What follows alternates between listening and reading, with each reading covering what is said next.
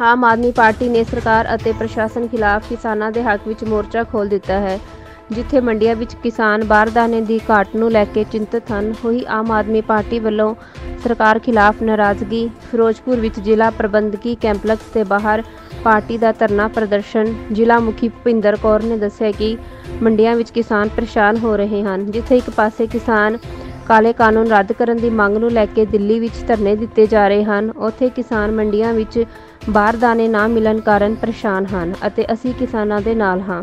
ਫਿਰੋਜ਼ਪੁਰ ਤੋਂ ਗੁਰਪ੍ਰੀਤ ਸਿੰਘ ਭੁੱਲਰ ਦੀ ਰਿਪੋਰਟ।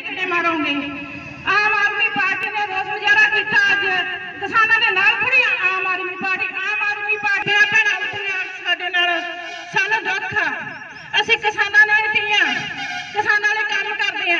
ਕਿ ਤੋਂ ਹੁਣ ਤੱਕ ਮੈਂ ਇਹੋ ਹੀ ਕੰਮ ਕਰਦੀ ਆ।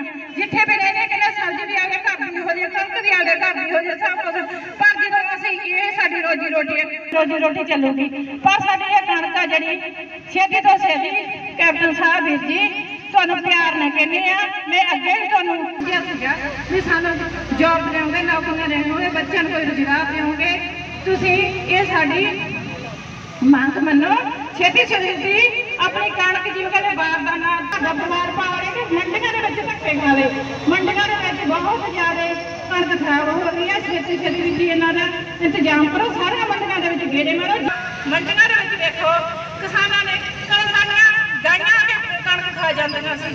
ਇੱਜਣਾ ਨੇ ਇੱਜ਼ਤ ਸਾਡੀਆਂ ਗਾਈਆਂ ਅੱਜ ਸਾਡਾ ਮੇਨ ਕਾਰਨ ਹੈ ਵੀ ਸਾਨੂੰ ਬਾਰਦਾਨਾ ਨਹੀਂ ਮਿਲ ਰਿਹਾ। ਜੋ ਬਾਰਦਾਨਾ ਦੀ ਘਾਟ ਕਰਕੇ ਜੋ ਕਿਸਾਨ ਸਾਡੇ ਮੰਡੀਆਂ 'ਚ ਰੋ ਰਿਹਾ, ਉਦੋਂ ਬਾਰਿਸ਼ ਨਾਲ ਕਣਕਾਂ ਭਿੱਜ ਰਹੀਆਂ। ਕਿਸਾਨ ਪਹਿਲਾਂ ਹੀ ਬਹੁਤ ਦਬਾਅ ਹੋਏ ਸੀ। ਅੱਜ ਸਰਕਾਰ ਕੋਈ ਵੀ ਧਿਆਨ ਨਹੀਂ ਕਰ ਰਹੀ। ਤੇ ਕਿਸਾਨਾਂ ਦਾ ਬੜੀ ਮੁਸ਼ਕਲ ਨਾਲ ਕਿਸਾਨਾਂ ਨੇ ਫਸਲਾਂ ਪਾਲੀਆਂ। ਉਹ ਮਾਘ ਦੀਆਂ ਰਾਤਾਂ, ਜੋ ਕਿ ਜਨਵਰੀ, ਫਰਵਰੀ ਦੀਆਂ ਰਾਤਾਂ ਹੁੰਦੀਆਂ, ਉਹ ਜਾ ਕੇ ਅਸੀਂ ਕੱਢੀਆਂ ਹੋਈਆਂ। ਸੱਪਾਂ ਦੀਆਂ ਸਰੀਆਂ ਮਿਲ ਕੇ ਅਸੀਂ ਫਸਲਾਂ ਪਾਲਦੇ ਹਾਂ, ਜੋ ਕਿ ਜੋ ਫਸਲਾਂ ਪੱਕ ਜਾਂਦੀਆਂ, ਜਿਹਦੀ ਸਾਡੇ ਲਈ ਨਾ ਝੋਨੇ ਦੀ ਕੋਈ ਵੈਲਿਊ ਰਹਿੰਦੀ, ਨਾ ਕਣਕ ਦੀ ਰਹਿੰਦੀ। ਅਸੀਂ ਹੋਰ ਵੀ ਫਸਲ, ਜੇ ਕਿ ਜਿਵੇਂ ਕਿਸਾਨ ਕਹਿੰਦੀ ਹੈ ਸਰਕਾਰ ਕਹਿੰਦੀ ਵੀ ਤੁਸੀਂ ਫਸਲੀ ਚੱਕਰ ਵੱਲੋਂ ਅਸੀਂ ਆਲੂ ਬੀਜ ਕੇ ਵੀ ਬਹੁਤ ਦੇਖੇ। ਜੋ ਕਿ ਸਾਡੇ ਰੁਲੇ ਹੈ ਟਰਾਲੀਆਂ ਭਰ ਭਰ ਕੇ ਅਸੀਂ ਸਿੱਟੀਆਂ ਹੈ, ਜੋ ਕਿ ਉਹਨਾਂ ਨਾਲ ਬਿਮਾਰੀਆਂ ਫੈਲੀਆਂ ਸਾਨੂੰ ਪਤਾ ਸਾਡੇ ਬਾਹਰ ਮੂਹਰੇ ਕਿਵੇਂ ਕ- ਆਲੂਆਂ ਦੇ ਢੇਰ ਲੱਗੇ ਹੁੰਦੇ ਸੀ ਜੋ ਕਿ ਅਸੀਂ ਦੇਖੇ ਹੀ ਨਹੀਂ ਸਰਕਾਰ ਨੇ। ਅੱਜ ਸਾਡੀ ਮੇਨ ਮੰਗ ਹੈ ਵੀ ਸਾਡਾ ਬਾਰਦਾਨਾ ਮਿਲ ਕੇ ਸਾਡੀ ਕਣਕ ਦੀ ਫਸਲ ਚੱਕੀ ਜਾਵੇ ਜੋ ਜ਼ਿਮੀਂਦਾਰ ਭਰਾ ਆਪਦੇ ਘਰਾਂ ਨੂੰ ਜਾਣ।